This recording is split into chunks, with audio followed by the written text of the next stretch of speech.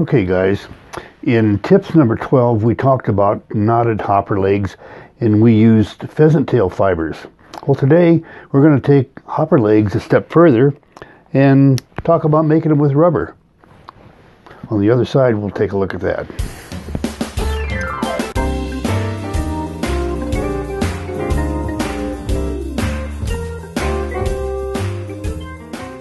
This is just a kind of a make-believe hopper body all we're going to do is tie tie legs on and show you a couple of ways to do it. Now we're going to be using this material right here. This is a, a rubber material. It strips off in strings like this. And uh, we're going to start with a pair that I've already cut off. And I'm just going to tie them on the hook. And we're going to just do this with uh, snug but not tight wraps. And I want you to notice that we can tie them on together and make them even.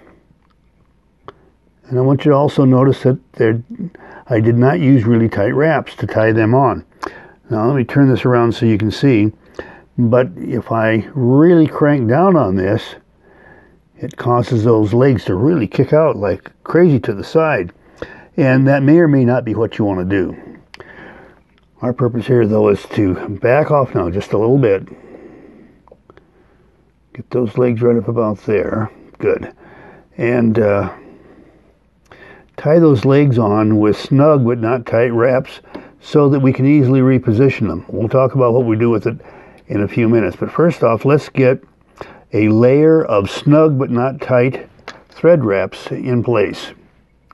You see we've got our wing, our, our legs here.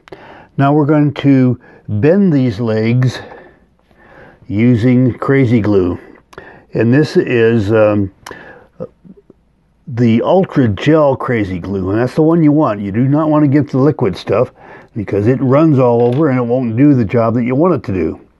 But we're going to start by putting a drop on top there and one there. And now let's make sure we close that stuff back up because it can sure make a mess. And the last thing I want to do is glue my fingers together in front of all of you while we're filming. Now I just left that set on there and now I'm going to grab a hold of the front one so it don't pull out and stretch that. And a little bit more. That makes that leg pretty good. Now let's grab the other leg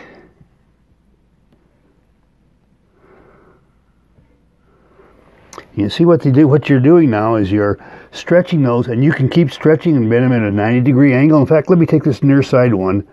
Let's do it some more. You see, it's kicked down just a little bit more than the one on the offside. That's okay. Our purpose here isn't to tell you how to position your legs. It's to tell you how to adjust them the way you want them. Now, what I want to do now is go ahead and using, what I want you to see now is that I can really tighten this up by using the softer wraps as an under wrap and a uh, kind of a buffer zone, if you will. And I can put really tight wraps on, and yet my legs don't reposition themselves. And now I'll trim that off, trim that off, and now you've got your bent legs. Now you can do it that way, or we'll um, take all this stuff off and we'll meet y'all back on camera here in just a moment. Okay, now we're, we're back after removing the, the glued legs, if you will. And now I just have a pair of legs that I put a, a, a knot in. And we're just going to go ahead and tie those on. And they can be a real pain in the neck to get them setting just the way you want. Just frustrating as heck. Let me pull this out just a little bit. I need a little bit more space here, front and back. There we go. Now remember, we're going to use a snug but not tight wraps, setting up the buffer zone concept. All right, now you can see that they're bent in every which direction. We just don't want them want them to be. The one, in fact, the one on the side turned out pretty good. You know, I got lucky. Sometimes it's better to be lucky than good. But the one on the near side is really messed up. Well, there's a there's things that you can do. First off, you can stretch them and pull back and forth and adjust them for length. But one of the things that you can do is twist and stretch and get your leg to turn around. See how we did that? And uh, we'll do it to the other leg. Now we got to go the opposite direction if we want to kick it one way or the other. And there, that's setting a little bit better. Let's pull this guy around just a touch. That's looking pretty good to me. Now I'm going to go ahead and use that buffer zone and I'm going to take the legs in front and have them kick out to the sides and leave the legs behind tighter into the body. And what by doing that, I'm using the snugger wraps at the back, and then I'll put tighter wraps. See how that how that works out? Is it spreads these and doesn't spread the others. You use the buffer zone wraps to position things the way you want. Now, if you don't want the front legs on there, that's great. You trim them off. But the whole purpose here is to show you how you can control the spread, if you will, by using snug wraps and then anchor things in place in a different position with anchor wraps or tight wraps over the top of the snug wraps. And they still don't kick out, but the snug, the snug, the snug wraps are acting as a buffer zone, allowing you to place the tight wraps on top.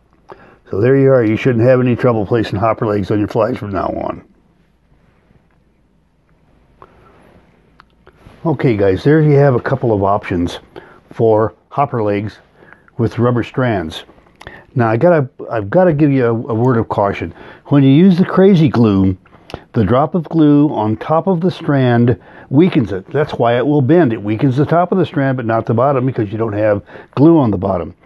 And uh, quite frankly, the the crazy glue bent legs look a lot better under glass than they work on the water because sometimes if you get just a little bit more glue on there than you planned on, it will weaken too much of the leg. And if you're a terrible caster like me, you'll end up with uh, part of the leg popping off because there's really only a half a leg there. The other half has uh, been made weaker by the crazy glue. Anyway, try those methods and see how they work for you. Enjoy.